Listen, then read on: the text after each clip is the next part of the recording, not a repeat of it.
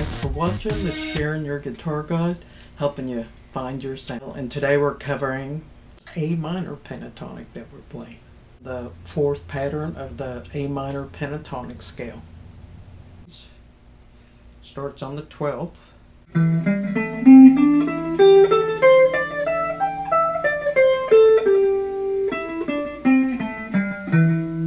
So it's 12, 15, 12, 15, 12, 14, 12, 14, 13, 15, 12, 15.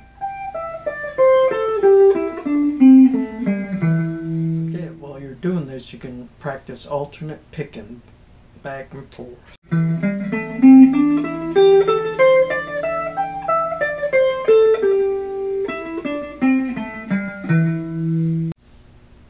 Notice how all the scale patterns, so they're all connected.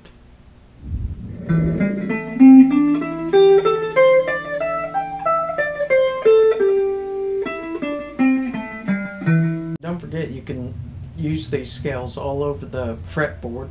You need to learn what key you're in and uh, or actually the notes on the fretboard so you can figure out what key you're in in order to play the pattern in the right key. So uh, go to yourguitarguide.com and sign up and I've got a uh, free guide to uh, teach you all the notes on the fretboard.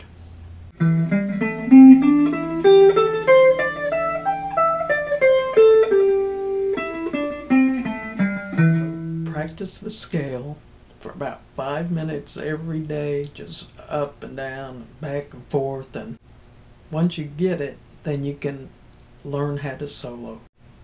Also, if you haven't subscribed, go ahead and um, you'll be notified every time I upload a video, and you'll get free guitar tips and tricks. Go ahead, subscribe.